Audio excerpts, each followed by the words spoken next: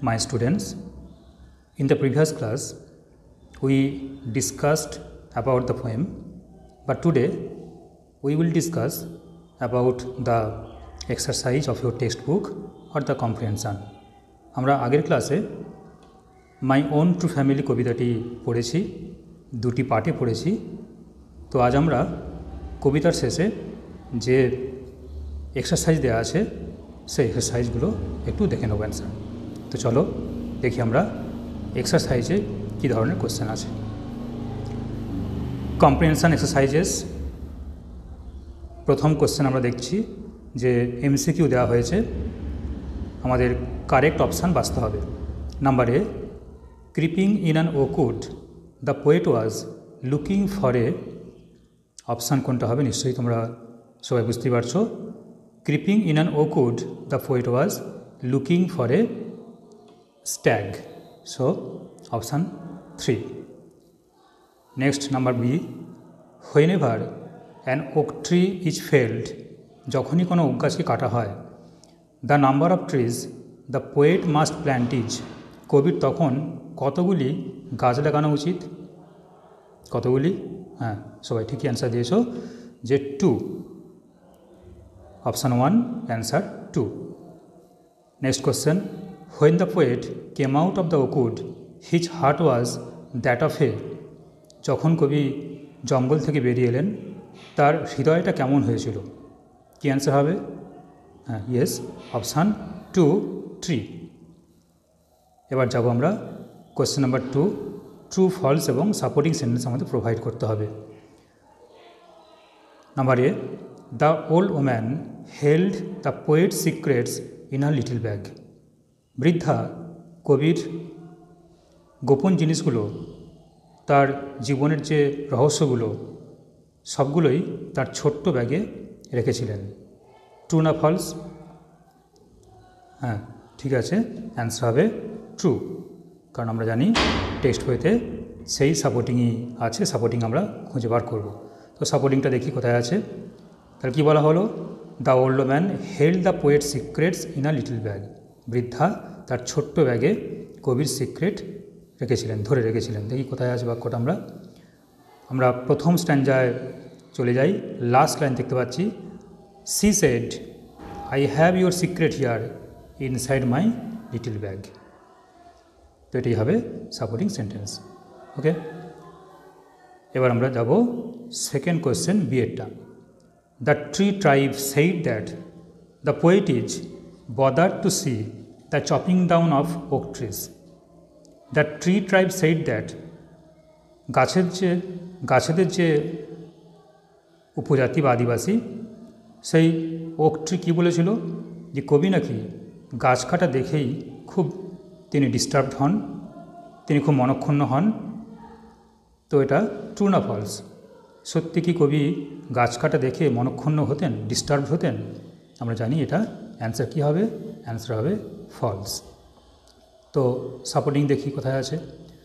Supporting দেখবে সম্ভবত দেখতে পাচ্ছি আমরা থার্ড স্ট্যান্ডায় থার্ড স্ট্যান্ডা দেখো third স্ট্যান্ডায় we are chop down we are torn up you do not blink an eye কিন্তু তুমি দৃষ্টিপাত করো না। আমাদের কেটে ফেলা হয়, ছেড়ে ফেলা হয়, কিন্তু তুমি আমাদের দিকে কখনোই দৃষ্টিপাত করো না। তাহলে এই বাক্যটাই আমরা লিখব সাপোর্টিং সেন্টেন্স হিসাবে ঠিক আছে? নেক্সট আসি question number C the poet came out of the oakwood কবি ওকুড থেকে বেরিয়ে এলেন। তিনি সত্যি বেরিয়ে এসেছিলেন? তাহলে অ্যান্সার হবে ট্রু সাপোর্টিং দেখি আমরা। লাস্ট টাইমটায় নিশ্চয়ই সাপোর্টিংটা পাবো। লাস্ট টাইমটা আমরা দেখছি সাপোর্টিং নাই came out of the oakwood নাই came out of the oakwood এইটুকু অংশ লিখলেই হবে। এটি সাপোর্টিং সেন্টেন্স ওকে তো এই গেল আমাদের ট্রু ফলস এবার আসি আমরা question number three answer the following questions আমরা কোয়েশ্চেনের উত্তর দেবো। প্রথম কোয়েশ্চেন আমরা দেখি। কোয়েশ্চেন নাম্বার এ সেখানে কী বলা হচ্ছে দেখি আমরা। যে when did the poet came twice awake কবি কখন দুবার জেগে উঠেছিলেন? কখন জেগে উঠলেন? না when the old woman opened her little bag আবার বলছি when the old woman opened her little bag the poet came twice awake came থেকে কেম হবে? যেহেতু ডিড দ্য প্রশ্ন হয়েছে the poet came to awake ঠিক আছে? Next question number B what would happen to the poet if you fail to make the promise যদি কবি promise করতে ব্যর্থ হন, তাহলে কী ঘটবে? কী ঘটবে? The poet would die if you failed to make the promise the poet would die কবি মারা যাবেন if you failed to make the promise question number C what was it that altered the poet altered means changed altered মানে হচ্ছে changed পরিবর্তন করা।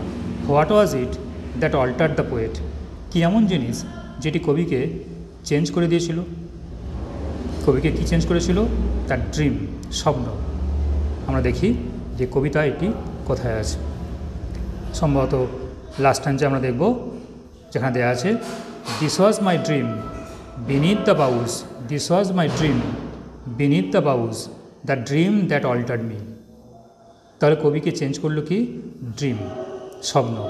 The dream alter the poet okay তো এই গেল আমাদের সমস্ত কোয়েশ্চেন এবার আসব grammar in use grammar portion grammar question number four change the following into indirect speech আমাদের ন্যারেশান চেঞ্জ করতে হবে, সেই গ্রামার আমরা দেখব প্রথম এ।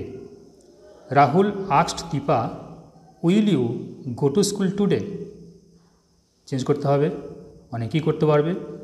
তবু অ্যান্সারটা বলে দিই। রাহুল আক্সড দীপা ইফ সি ইউ বলতে কাকে বোঝানো হচ্ছে না দীপাকে? তো দীপা যেহেতু মেয়ে, তাহলে সি আনতে হবে। ইফ সি উড উইল থেকে চেঞ্জ হয়ে হবে would if she would go to school today থেকে that day Rahul asked Dipa if she would if she would go to school today থেকে দ্যাট ডে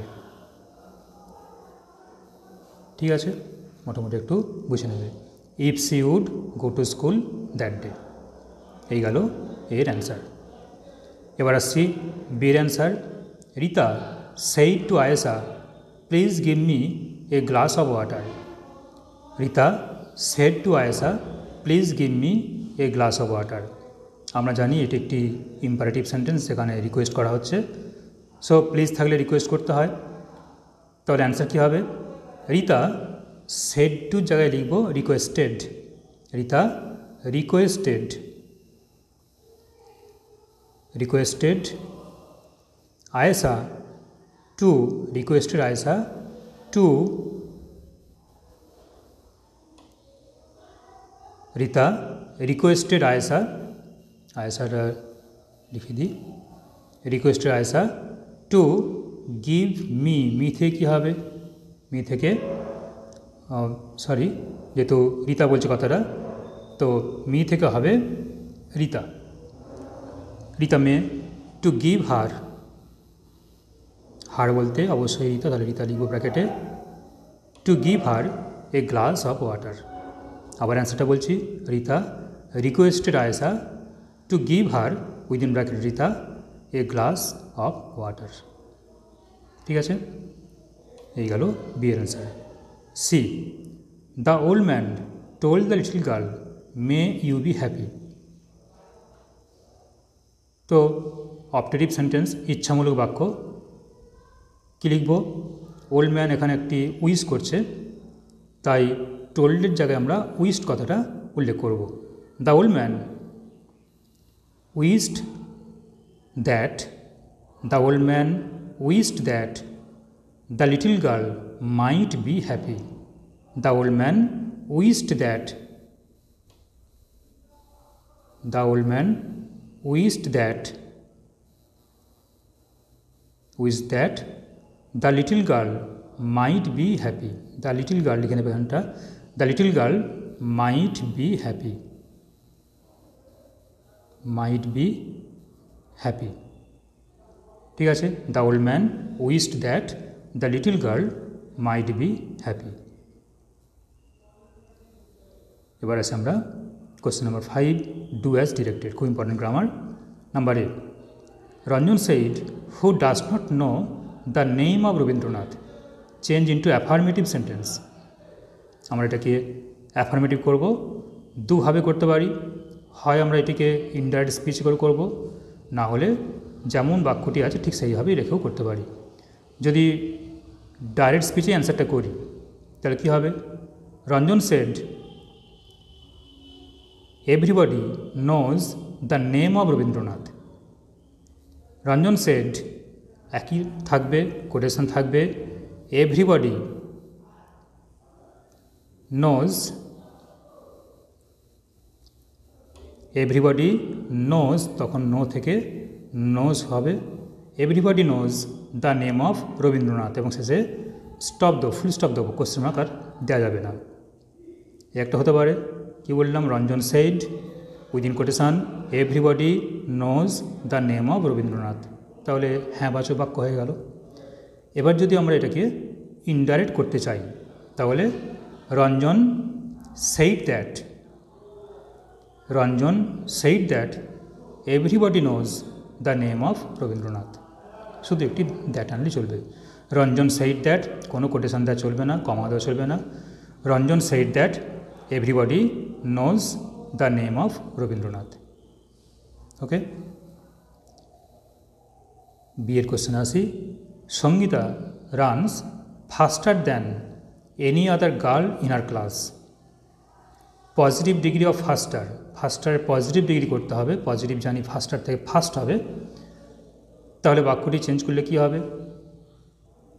অ্যান্সার হবে no other girl in her class runs so fast as Sangita no other girl in her class runs so fast as Sangita so fast as Sangita অনেকেই হয়তো লিখবে as fast as কিন্তু মনে রাখবে যখন negative sentence হয়, বাক্যটা শুরু করেছি আমি নো আদার গার্ল দিয়ে। তো নেগেটিভ সেন্টেন্স হলেই আমরা সাধারণত সো অ্যাজ ইউজ করি। অ্যাজ অ্যাজ ইউজ করি না। যদি হ্যাঁবাচক বাক্য হয়, তখন আমরা অবশ্যই অ্যাজ অ্যাজ ইউজ করব। অ্যাজ ফার্স্ট অ্যাজ তখন ইউজ করতে পারি। কিন্তু নেগেটিভ হলে সো অ্যাজ ইউজ করাটাই খুব ভালো। তো অ্যান্সার কী হলো? Sangita sorry no other girl in her class runs so fast as Sangita. ঠিক আছে? Question number C Kaushiki blamed her friend for the travel. বলা হয়েছে, নাউন ফর্ম অফ ব্লেম। ব্লেমডে নাউন ফর্ম করতে হবে। ব্লেমডে নাউন ফর্ম হয় blame B L A M E তাহলে বাক্যটা কীভাবে লিখব? কারণ রিরাইট করতে বলেছে। বাক্যটিকে পুনরায় লিখতে হবে। লিখব Kaushiki.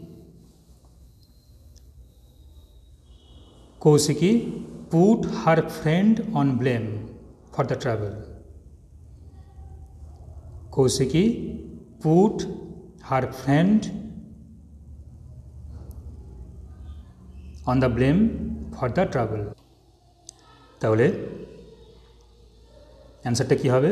Kaushiki, put her friend on the blame for the travel ঠিক আছে? এটি একটি ইম্পর্ট্যান্ট গ্রামার ভালো করে আমরা দেখে নেব বা লিখে নেব। তো এই গেল গ্রামার পোর্শান এবার আছে আমাদের রাইটিং অ্যাক্টিভিটিস তো আজ রাইটিং নিয়ে আলোচনা করছি না, আমরা পরের ক্লাসে রাইটিং নিয়ে আলোচনা করব। কারণ না হলে ভিডিওটি অনেকটা বড় হয়ে যাচ্ছে। ঠিক আছে? তো আজ এই পর্যন্ত থাক, পরের ক্লাস আমরা রাইটিং নিয়ে আলোচনা করব। ওকে